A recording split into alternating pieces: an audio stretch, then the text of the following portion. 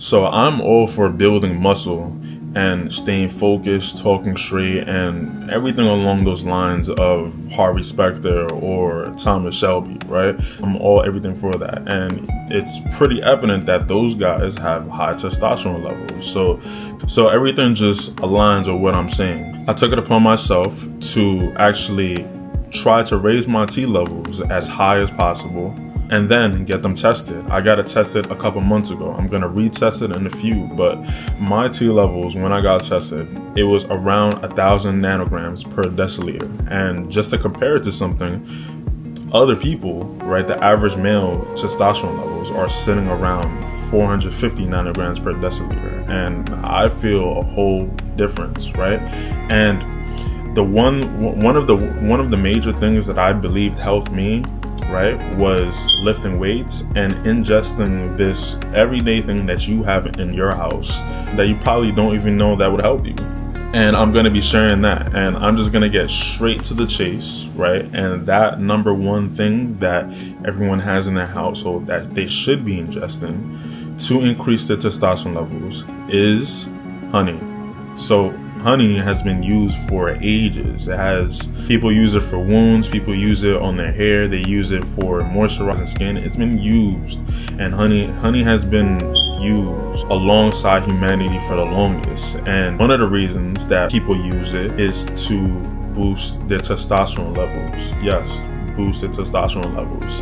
And one of the main nutrients in in honey that helps get that job done is boron boron indirectly in- increases your T levels, right? Boron in- indirectly increases your T levels. So some research suggests that boron may have a role in hormone metabolization, including the regulation of testosterone and estrogen levels. And from me just even taking it, right?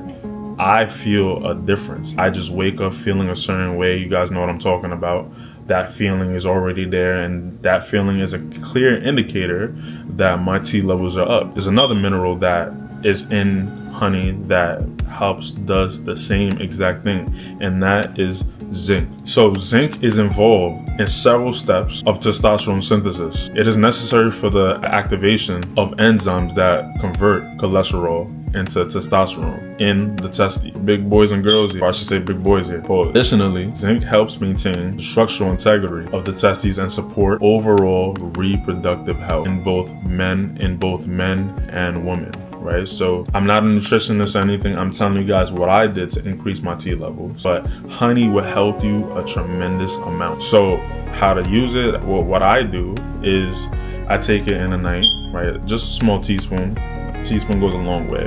And if you feel like you really need to, if you need to kickstart it in the morning or kickstart it overall, kickstart your testosterone levels in the beginning of this new phase that you're in, if you feel like you're in, if, you're going to compete or if you have a speech, or if you have you need a focus in the morning as well.